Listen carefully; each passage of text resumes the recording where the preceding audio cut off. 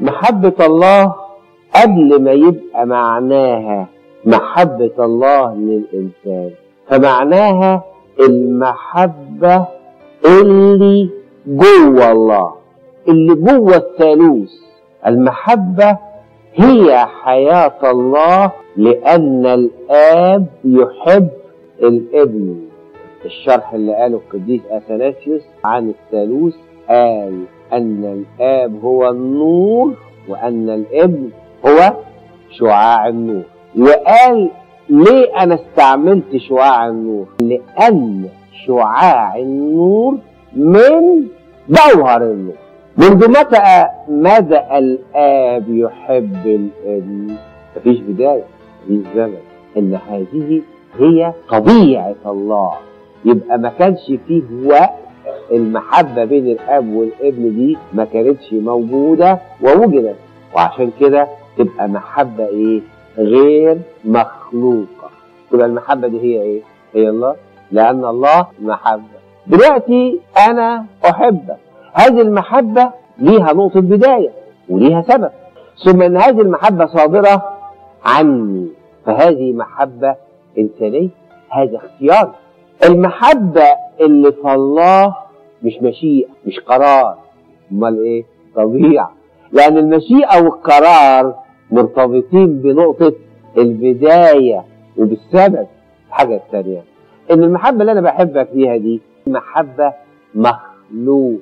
ليها صفات مختلفة عن صفات المحبة غير المخلوق الآن حينما نتكلم عن محبة الله فنحن نتكلم عن المحبة غير المخلوقة التي يعطيها لنا المسيح. ده عطية جاية من بره الإنسان لأن محبة الله قد انسكبت في قلوبنا بالروح القدس المعطى لنا لقيت قلبي بقى بيوجه حب للآب السماوي للابن القدوس لأخويا اللي قاعد هناك ده أهو. حب للبعيدين للمسيئين. طب إزاي؟ دي محبة الله. إن كنتم تحبون الذين يحبونكم فقط فأي فضل لكم.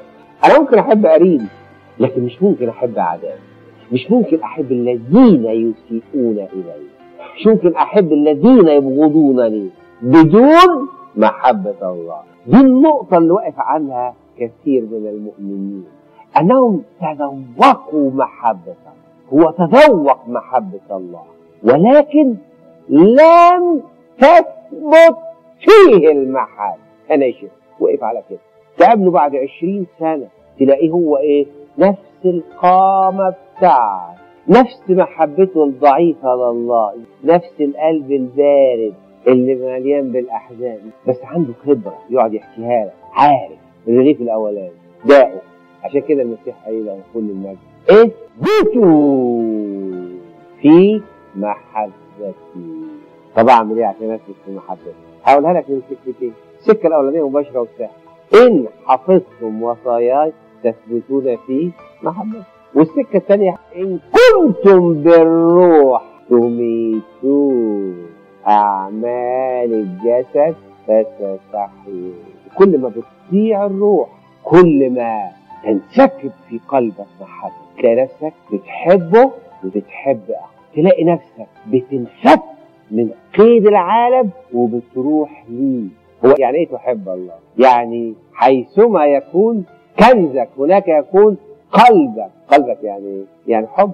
حبك بيروح ليه حينما تأتي إليك محبة الله اثبت فيه.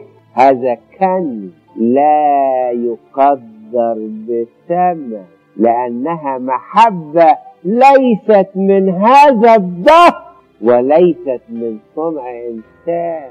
واضرم زي قطعة النار اللي لما تضيف إليها قطعة وتضيف إلى القطعتين قطعة ثالثة وتقعد تنفخ فيهم تبقى نار محترمة مفيش حاجة تقدر تطفيها. هي النار اللي جواك كل شوية تطفي ليه؟ ليه يقول لك كلمة تروح حرمان ومأمور ليه يقول لك مش عارف إيه تروحي مجروحة ومش عارف إيه؟ لأن المحبه اللي في قلبك قليلة.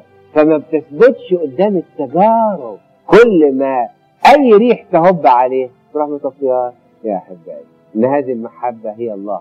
فإذا ثبت في هذا الحب وإذا أضرمت محبة الله ليكون فيهم الحب الذي أحببتني به وأكون. أنا يقول الرب يسوع فيهم أهو ده سكن المسيح. أهو ده أحيا لا أنا بل المسيح يحيا. هي مش صعب أن يكون المسيح فيه. عشان كده سنين هذا عدد وتبص جواك ما تلاقيش لسه لسه لسه ما انت شاعر بأن هنالك حضور حقيقي لابن الله جواك شايفه وسامعه وحسه وبيعمل أعماله من خلالك والناس شايفاه جواك يرون فيك يسوع ويحسوه. لسه ما وصلتش للسكر لسه واقف عند نقطة الإيمان لسه واقف عند نقطة البداية الأولى. لكن مش عارف توصل للسكنة يحيا فيه الطريق هو الحب.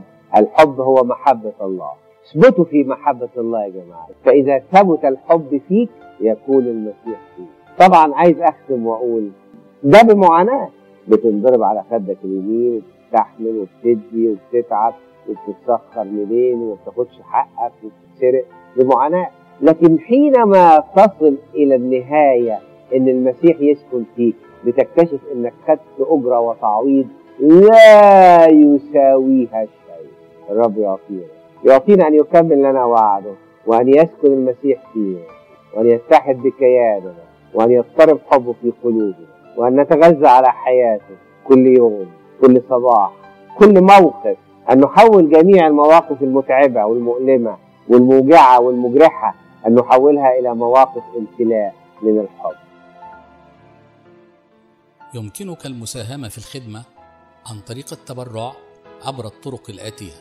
من مصر عبر الحساب بالبريد المصري كنيسة أثناسيوس الروسية الأرثوذكسية حساب رقم صفر مية واحد ألف تسعة وعشرين تلاتة وستين تمانية وأربعين تمنتاشر أو عبر فودافون كاش صفر عشرة ستة وستين ستاشر اتنين وتمانين أربعة وتمانين وللتبرع عبر الإنترنت من خلال الروابط أسفل الفيديو.